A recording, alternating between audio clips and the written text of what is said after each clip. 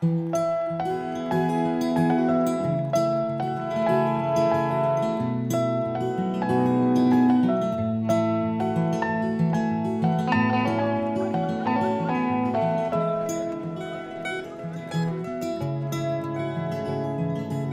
verwacht dat ik eh, emoties ging hebben, maar eh, onder de bril zitten tranen.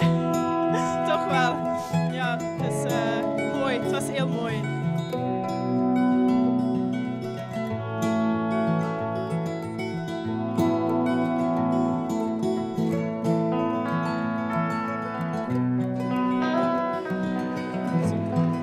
Ik ben ongelooflijk eh, trots. Ik ben ongelooflijk trots ook op, op de solidariteit tussen, tussen alle mensen.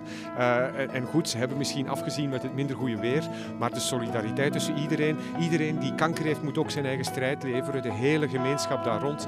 Wel, kijk, dat werkt ook anno 2013. Dat werkt. Dus ik ben een heel trotse, en tevreden en gelukkige voorzitter. Voor de mensen te helpen die nog geholpen kunnen worden. Dus ja, daarvoor doen we het en daarvoor gaan we het blijven doen. Ik was heel even aan het twijfelen, maar bijna tegelijkertijd kregen we te horen dat mijn schoonvader eh, kanker kreeg. Ja, toen heb ik niet meer getwijfeld. eh, ben ik onmiddellijk begonnen met geld in te zamelen en eh, ben ik erin geslaagd. Uiteindelijk is mijn schoonvader vorig jaar net, net na de 1000 kilometer overleden. Maar ik heb gezegd, ik ga er terug voor. En ja, ik heb op mijn eentje die 5000 euro ingezameld. En nu de 1000 kilometer gefietst en ik ben toch blij dat ik dat gedaan heb. Ja.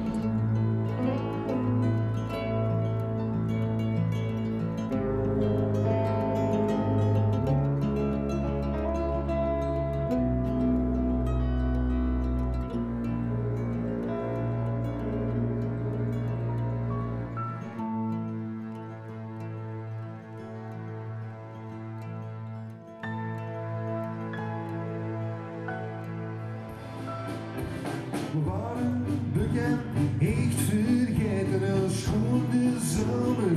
Welke zijn op de feesten en op de bomen en zee. Hoe schoon de zon schijnt. En ik hou van u, ik hou van u, ik hou van u.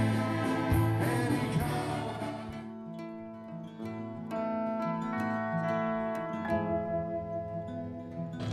van Mijn zoon is net vier jaar geleden gestorven aan kanker.